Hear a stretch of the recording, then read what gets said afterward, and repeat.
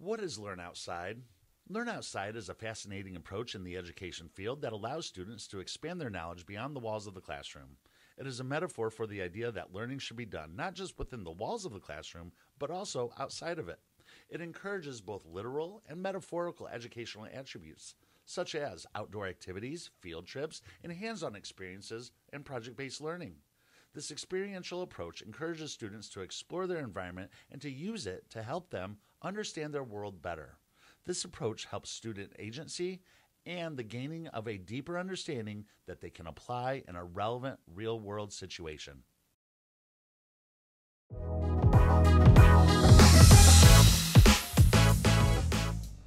Welcome to podcast number 12 of Learn Outside. Yep. Mm-hmm. We're excited to be back. The description of today's episode is we have Dr. Andrew Hoyt that's going to be joining us shortly. I know, so, so exciting, exciting. right? Mm-hmm. He is just a wealth of knowledge in thinking outside of the mm-hmm. box mm-hmm. in regards to education. Mm-hmm. And the exciting piece is is that he yep. is our founding headmaster at the Portage School of Leaders, or like Excellent. we like to call the Portage School.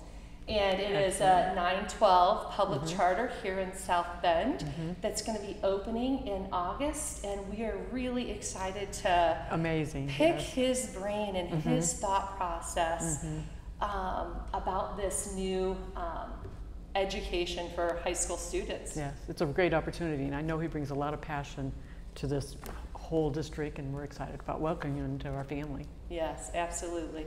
So thank you for joining Learn Outside. Learn Outside is an informal discussion about innovative uh, teaching practices and just a different way to do education that's mm-hmm. engaging mm-hmm. to our students and not just to our students, but it empowers our educators mm-hmm. to lead beyond the walls of the classroom. Yes. Mm-hmm. So now let's jump into our Learn Outside moment of the All week. Right. Dr. Nash, what's mm-hmm. your Learn Outside moment of the week? I'm very excited today. I just finished reading um, and listening to a podcast um, called Makers of the World um, by Edutopia. And this whole uh, podcast was about how everyone, no matter who you are, you're creative. Yes. You have creative creativity within you. And so I was thinking about it, and one of the pieces that I'm very proud of is our first grade team um, had several different units um, that were connected throughout the entire school year. So it made this whole theme for uh, theme umbrella, if you will, for first grade. They start out, started out by studying apples and pumpkins and going to the pumpkin patch and, and studying all the, um, the seeds and the um, uh, biological makeup of the pumpkins and apples. Mm-hmm. And then later they did a unit in, um, about plants and studied how, the growth process, the water cycle, and all of the photosynthesis. I mean, it just continued to build. Mm-hmm. So that by the um, spring semester, they were working on a hydroponic garden where they grew flowers. Oh. So this whole year, they were studying, over the whole year, they were studying plants, the parts of plants, the cycles around growing gardens. It was phenomenal. And um, at the end of the year, the students and teachers and the team were so excited about this whole connective process of all the content areas that they wanted to take it all to the level of entrepreneurship. And so what the students did was they created art pieces around plants. And I brought one today. Oh, um, let's see. And I just love it here. Oh. Um, they did all the watercolors um, in the background and took time to draw. These are first graders, again, Beautiful. five and six year olds drawing these flowers and creating almost a 3D effect because of the glass that they used. Mm-hmm. And I just loved how the unit connected all year long and then how they connected it to art and entrepreneurship. And these were sold during the uh, spring parent conferences. Um, so I went down and bought a whole bunch of them. Um, so real quick, so mm-hmm. they, they made these, they sold them, mm-hmm. becoming entrepreneurs, yes. ha- have gone through many career mm-hmm. pathways through this project. Mm-hmm. What were they using the money for that they were mm-hmm. raising through these? Um, they put the money into a fund so that they can then continue to grow their uh, garden and plant unit and uh, the connections to entrepreneurship. Sustainability. Yeah, absolutely. Mm-hmm. Oh, Thanks yeah. for sharing that. Oh, you're welcome. That's wonderful. And that's a great nugget for mm-hmm. our educator listeners that are trying yeah. to, this summer, re energizing, recharging, yes. coming up with unique mm-hmm. ideas of mm-hmm. how to lead experientially in our mm-hmm. classrooms and yes. within our school districts. And that that's was right. a great story right. Right. of experiential learning, of mm-hmm. learn outside. Mm-hmm. Yes, like I said, it um, covered the whole year, it was connected, and came out to be this incredible entrepreneurship experience for them. So. It was wonderful. Wonderful, Yeah. wonderful. Yes, Yeah. yes, yes. Yeah. I'll set this up here. Oh, yeah, so we can see that. Yep. So, with my Learn Outside of the Moment of the week, it's really me diving into experiential learning as an individual. Mm-hmm. And I have really been interested around AI. There's mm. been so much coverage in the news that this is the future, this is what's going on. So I mm-hmm. wanted to dive into that. So over the past couple of months, I've been dabbling with Chat GPT, mm-hmm. uh, Otter AI. Mm-hmm. Otter AI is a tool that will record your your meetings, your talks, and at the end you can go back and you can ask the bot, what are the action items? What were the notes from this meeting? And then share them out with your team. Anything mm-hmm. specific from that meeting, you can pull out. And so I've just been reflecting on this process of learning around AI. Mm-hmm. And then this uh, past weekend, my near and dear friend, Dr. Nora Bierlein, who's an English professor, was in town and we hmm. were, and she also has been diving into AI as she is an English professor, and English hmm. is an area in writing that Right. is so mm-hmm. important that we mm-hmm. know the writing process. So, mm-hmm. how, as an English professor, do hmm. you bring AI in? Because we can't Yeah. push AI away. It's it's going It's- to it's be here. there. It's, It's here. here. It's here. It's here. here. So how do we utilize this, but utilize it responsibly? Yeah. And so she too has been diving Mm. into hmm. AI because she's going to have to uh, run a lesson or a PD with her English Mm-hmm. professors on AI before the start of the fall semester. Right. And just talking about, you know, we need to chunk our lessons. We need to Mm-hmm. write reflections on those pieces that Mm-hmm. we've learned. We need to ask AI, like, specific thoughts and then write a reflection on that. Mm-hmm, And in the very end, we have to be engaging in what our assignments are Yes. so that students dive into to the work. So it's not AI doing the work for them. Correct, So that they're learning that writing process, right? Right. AI is a partner. It's a partner. Mm-hmm. I'm reading this book, or actually, I just finished it. It's called Chat GPT Millionaire. And Hmm. he refers to it as think of that you have an assistant or an intern. AI is your intern. Hmm. We can So- all use an intern. We can all use an intern, That's right? right. So for a teacher, it could be your teaching assistant. And Mm-hmm. so everything that it kicks out, you Mm-hmm. have to go through and you have to analyze it and make sure it's where you want it to Mm-hmm. be. But it just makes life a little bit more efficient. Oh, that's so exciting. Yeah, yeah. So Yeah. that's been energizing for me to Oh, kind of dive good. into that work. Very yes, good. yes, yes. Oh, very good. Yes, but guess what time it is? Oh, I know. We're going to a superhero commercial break. Will We you- will be right back. See you soon. See you soon. This message has been brought to you by Robotic Summer Cleanup in the Loft. That was a message from Robotic Summer Cleanup in the Loft. Now back to our program. Welcome back to Learn Outside, podcast number 12. We're so excited. We have Dr. Andrew Hoyt here with us today, the founding headmaster at the Portage School of Leaders. Welcome, Dr. Thank you. Yeah, it's great to be with you. Thanks for mm-hmm. having me. Yes, for being here. yes, and thank you for letting us pick your brain here for a few minutes. And so we want to first start with you've recently taken the position here at the Portage School, Mm-hmm. and what is your vision for the school, and what does that look like around experiential learning? Yeah. So at the Portage School of Leaders, we're all about connections. And I mm-hmm. know you both have heard me talk a lot about connections. Mm-hmm. And the name, actually, the Portage School, comes from the notion of connection, right? So South Bend was originally the city, ah. was a portage site between the Kankakee and the St. Joseph River.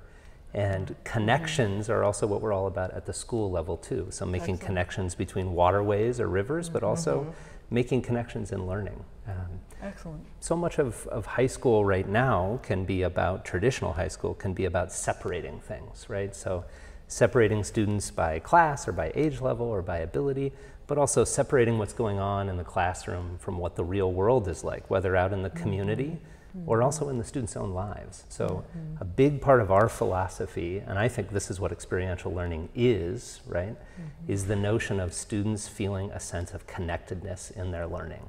That what hmm. they're doing during the school day is having real experiences that they can be engaged in mm-hmm. that are a part of their experience of learning. Uh, you know, mm-hmm. so that the real experiences, passions, interests, connections with the community that, that, that they have, those are important for their learning in high school as well. So that's what we're all about. Excellent. And our, our location there is an incredible asset for us. We're right downtown in South Bend, right? So making those connections hmm. is something that we can do mm-hmm. literally, not just what we're talking about in the classroom, but we can go out and have experiences mm-hmm. in the mm-hmm. community. A submersion almost. Yeah, experience. absolutely. Yeah, and I do. I like the word connect and connectedness. And when I think of connectedness, I think of belonging. We need to have a sense of belonging mm. in what we're doing. And when mm-hmm. we're connected and we feel belonging, then we're we're open to dive deep into whatever that learning is. Yes. Mm-hmm. right? Yeah, I think There's a that's right. safety and a welcome Yeah. Yeah. there.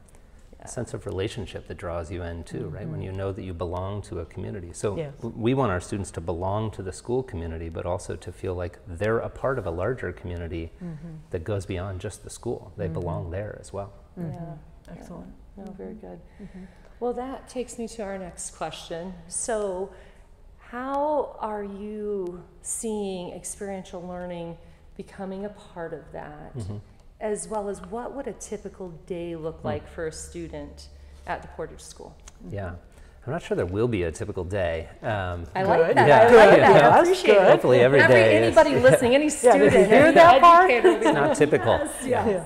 You know, I think the the experience is built around connection and a sense of belonging, like you shared. So we're we're willing and ready to change some of the grammar of just what the school day looks like, and just question some of those assumptions and things that we have institutionalized about bells ringing every 45 minutes and where you need to go next, um, Yes. and think a little bit more expansively about how do we de- develop belonging and experiences during this day.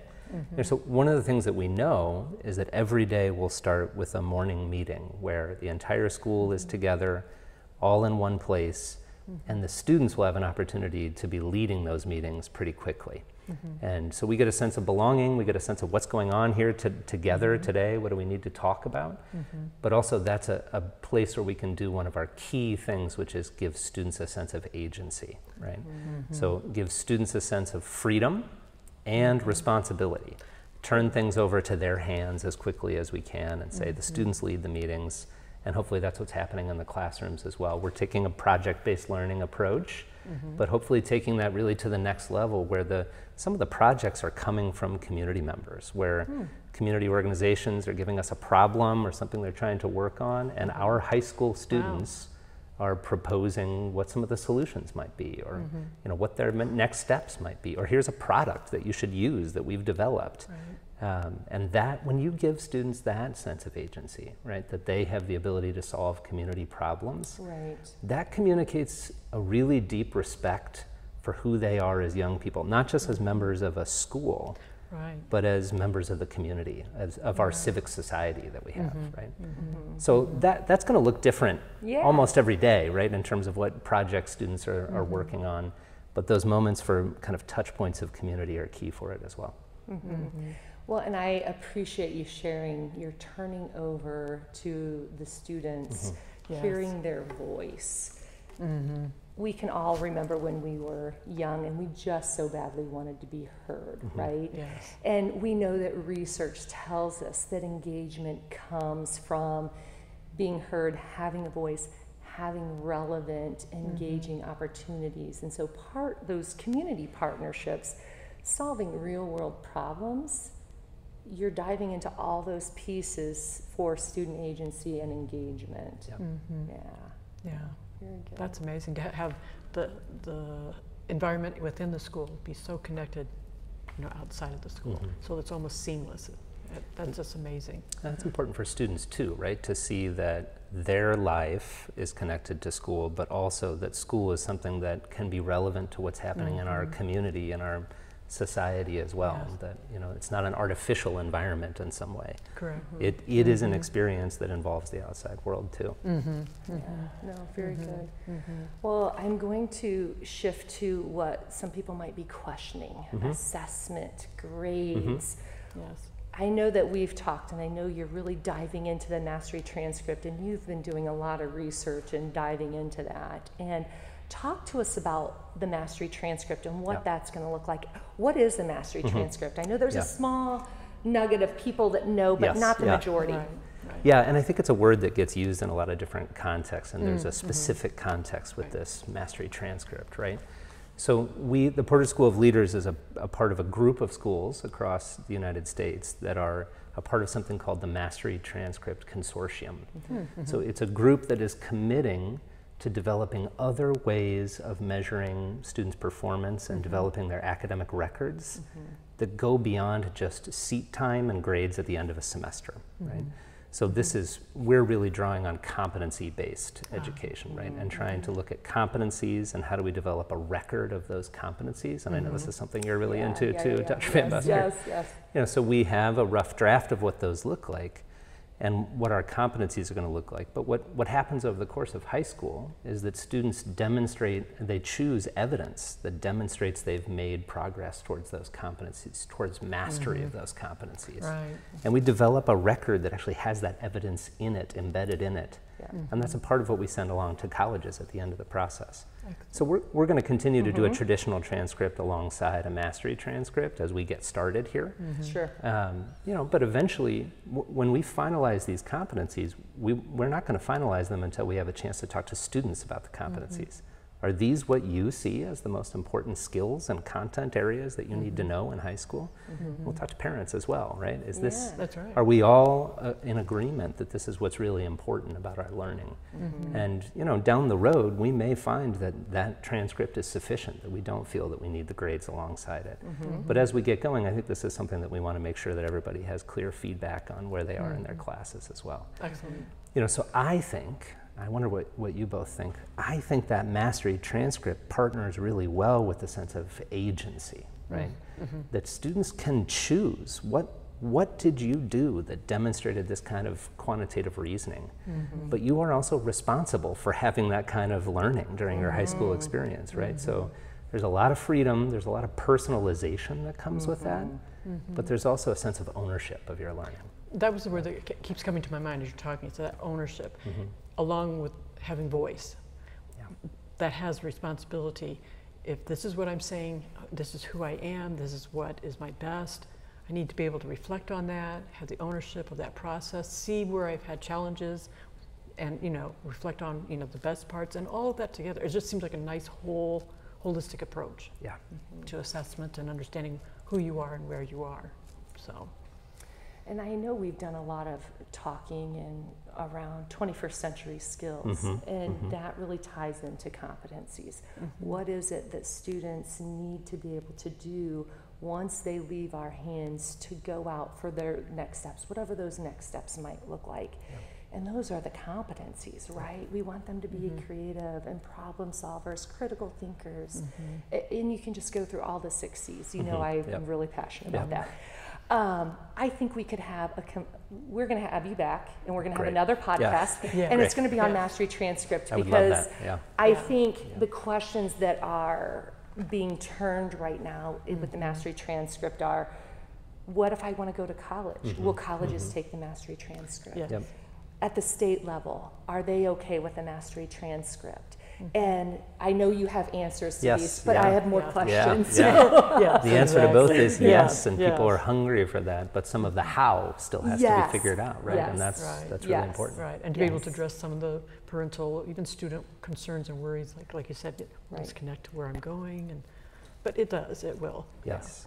Yes. And that's part of why we're, we're starting with a kind of you know two pronged approach of mm-hmm. there will be a lot that's familiar and traditional in the assessment, yes as we bring alongside this, mm-hmm. this it's called a learning record, you know, so this mastery transcript oh, that goes excellent. along alongside it. Mm-hmm. You know, and I think I would say, I know this is a lot on mastery transcript, but I, I heard this story. I visited the, the school in Ohio where the mastery transcript got, got started. Mm-hmm. Hmm. And I'll, you know, I think I may have mentioned this story to you before that there was a student who was getting guidance from his advisor as they mm-hmm. filled out the, his kind of, there's a moment where they take a break and they add things to their transcript. Mm-hmm. And that student had been in trouble that semester, had gotten in mm-hmm. trouble and had to write an essay for the dean of students about, you know, why they might have been having some behaviors in the school. And the advisor encouraged the student to submit that as a part of their health and wellness credit in their hmm. mastery Mm-hmm.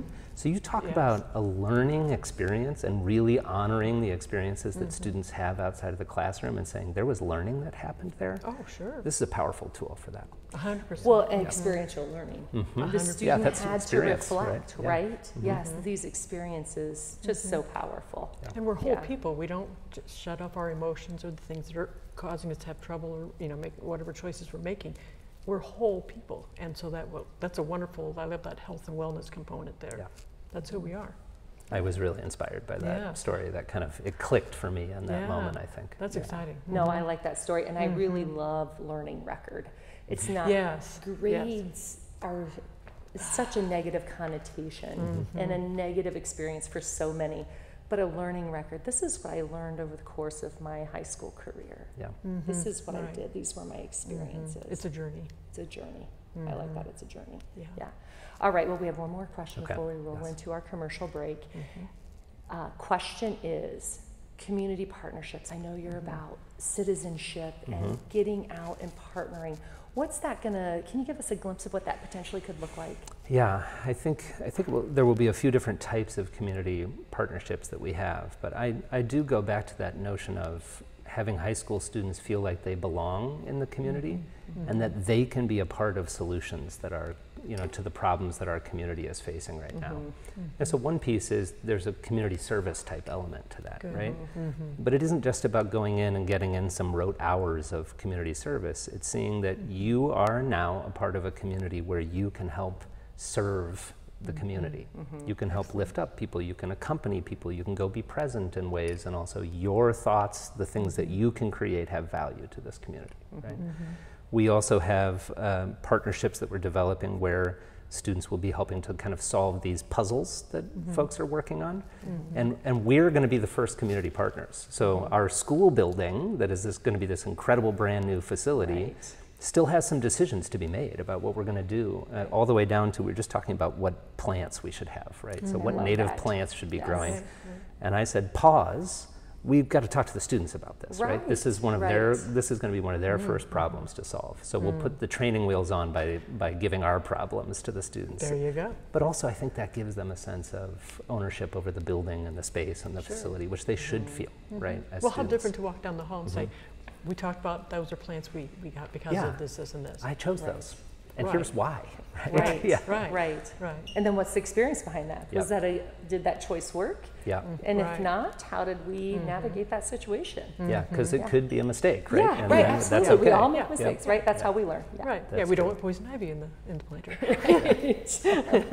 You know, and really, I, th- you know. I think also we'll we'll do work-based learning and other internships and things. Just, I mean, we're really. I see this as a family resemblance to Career Academy here. that this is this is an extension of a lot of what we already do, mm-hmm. with some turn on the academic piece with this mastery transcript, and also a location that allows us to be out in the community in ways mm-hmm. that um, are really distinct for that setting. So, mm-hmm. Yeah. Excellent. Very good, very good. Well, thanks for sharing. yeah. And Yeah, we very will exciting. be right Oh. back with our superhero guest, Dr. Andrew Hoyt. But right now, we need to go to a superhero commercial. That's We'll right. back. This portion of Learn Outside has been brought to you by Career Academy Summer Jobs. Our summer job is better than yours. This message has been brought to you by Career Academy Summer Jobs. Anybody can do it. Welcome back to Learn Outside. We are once again here with Dr. Andrew Hoyt, our founding headmaster at the Portage School of Leaders. And we are into our final question, Dr. Hoyt. Share with us what's brought you to this point in your career to be the founding headmaster. Hmm. Yeah, if you can believe it, this is not the first time I've helped start a high school. Hmm. And I'm doing it again, so that's a good sign. This is a That's good sign, That's a good And it's not a redo. It's it went well the first time as well. I, I, my teaching career began in Houston, Texas. I was hmm. a, I think I was the first teacher hired, but at least I was on the f- founding faculty mm-hmm. at a school called Cristo Rey Jesuit College Preparatory in Houston, Texas. And that school had a work study component to it where we were sending students out into the community, which was really part of what drew me to that school in the first place. Uh, and my wife also lived in Houston, which was a draw to, Right. to the Oh, area. yeah. that, that would be a big piece. But the school's model I found so compelling. Um, and so I was there for the first four years of that school.